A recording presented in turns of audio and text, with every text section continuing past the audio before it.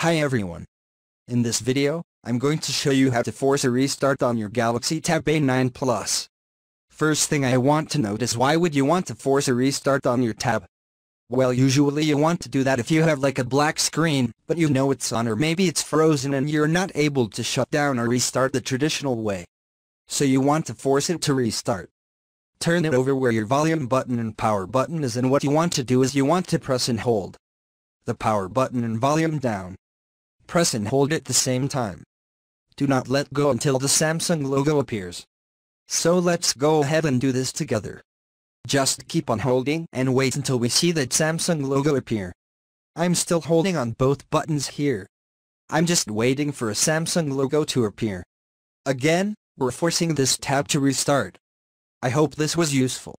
Please like, subscribe, and I'll see you in the next one.